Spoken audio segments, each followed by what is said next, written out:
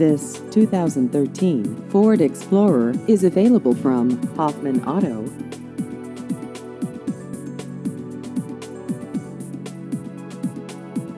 This vehicle has just over 70,000 miles.